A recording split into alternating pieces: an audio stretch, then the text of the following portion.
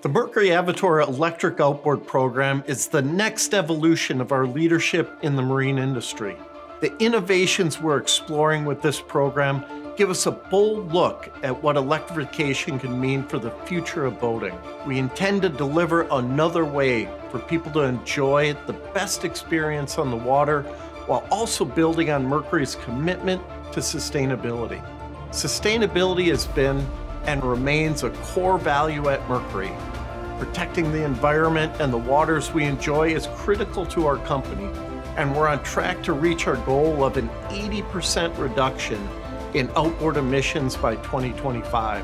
Our advancements in electric propulsion will further this effort by making boating possible with zero emissions. The Mercury Avator program represents the merging of new technology and more than 80 years of expertise in marine engineering. We're applying all our capabilities in hydrodynamics, corrosion resistance, vessel integration, and all the other things that made us the market leader. And we're using that knowledge to create a fully refined electric propulsion system with the same level of quality and reliability you've come to expect from Mercury. I'm excited to share a little bit more about our electrification program with you today in anticipation of product launches later this year. We set out to deliver three essential elements with the Avator program. First and foremost is usability.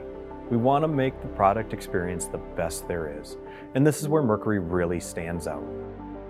We're taking everything we know about how consumers use our products, and we are incorporating it into Avator to create a propulsion system that is easy and intuitive to use. The initial concept is also more portable than anything we've ever done.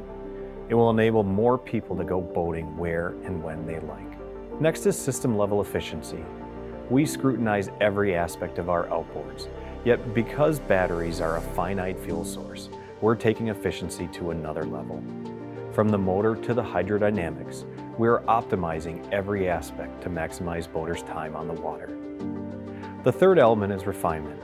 We are addressing all of the major things that are important to boaters, like durability and corrosion resistance, down to the fine aspects like fit and finish, even to the way the tiller feels in your hand. So when you touch and feel one of these outboards, you'll instantly recognize it's a Mercury. It's the real deal. We view electrification as an opportunity for anyone to enjoy the water, whether for fishing or sailing or just enjoying nature, even where traditional fuel sources aren't available or allowed.